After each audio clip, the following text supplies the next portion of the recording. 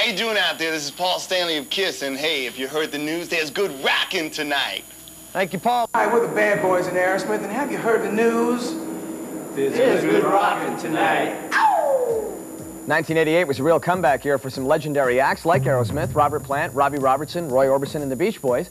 And certainly a big highlight for me was our trip to London and England in November, which resulted in the London Sessions, four weeks of the UK's best.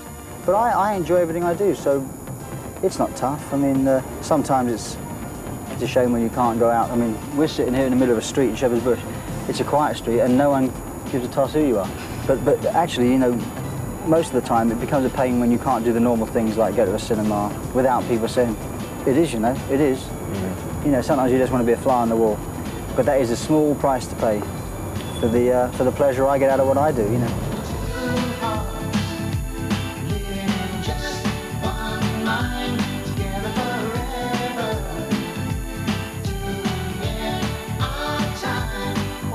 What's that, what's that like to be hip to, like a whole new generation of... He takes it out of bands? you. yes, indeed.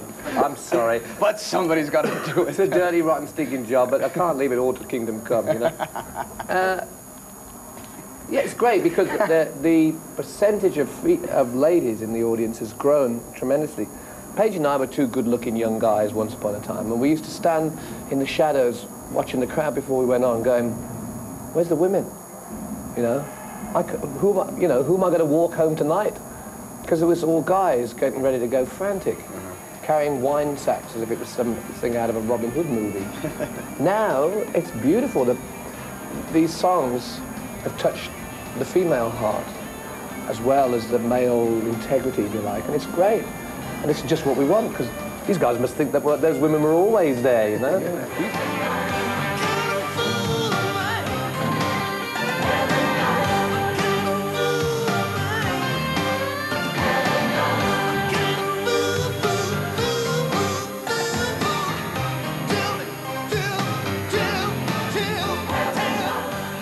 Down Under was particularly well represented in 1908, as well as the metal-oriented bands, one of which shot their way into the charts by truly being the new Bad Boys. We're lucky. Mm-hmm. We're lucky we stayed together. We're lucky that we actually believe in each other and we like each other on the whole. You know, we have our you know, misadventures, but I think we respect each other. That's the bottom line, you know.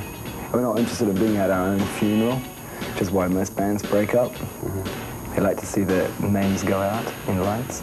And, and, or we don't have, you know, our differences are obvious. Our differences were there from the start.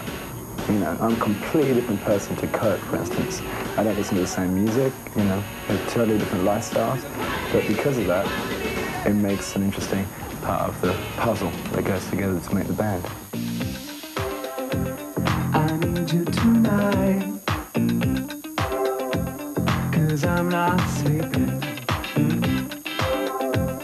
There's something about you, girl, that makes me sweat. And like, I mean, the stuff we got away with in our first record, I mean, there's profanity all over it. None of the songs have what you'd call commercial arrangements. So, and, and it did it as well as it's as, uh, as it's done. So it's going to be like, you know, you can't tell us what to do because we did what we wanted on the first one and it worked. So what are you going to say? There's nothing we can do about it. So uh, that's the great thing about this album doing so well, is it's so against the grain and the norm, you know, that the fact that it sold as many as it has and it's been doing so well is sort of like giving everybody the finger that said we couldn't, you know. But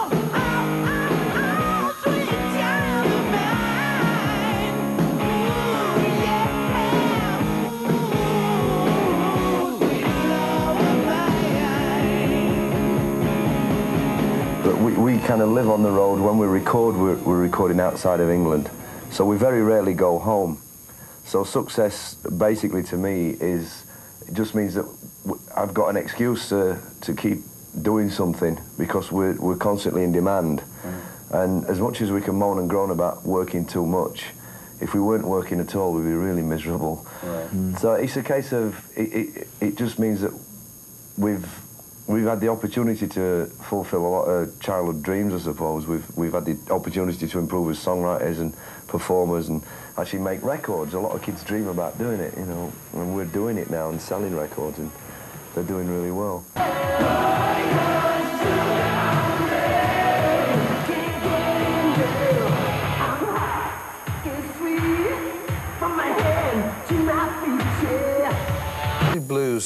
Really, i- the the vehicle, the Moody Blues, is a different type of, um, I think, band to what was actually happening at that time.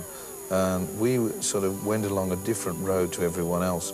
We never ever tried to fit in to anything. And um, uh, we, the only sort of ground rules we set ourselves was to write our own songs and to enjoy our own music.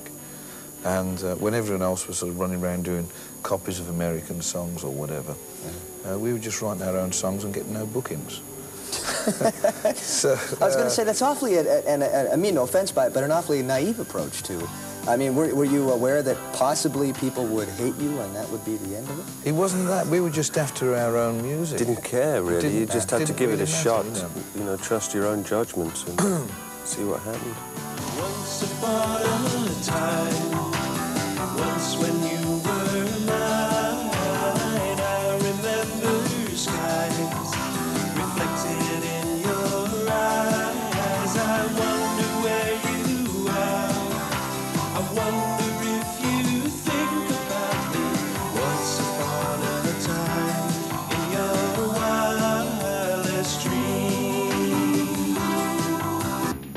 I leave you with our choice for 88's best video, which also happens to be included in this Michael Jackson Moonwalker video cassette. Now, to have been eligible to win one of these or a runner-up prize of a Michael Jackson calendar, you had to tell me when and where Michael Jackson was born. The answer, August 29th, 1958 in Gary, Indiana.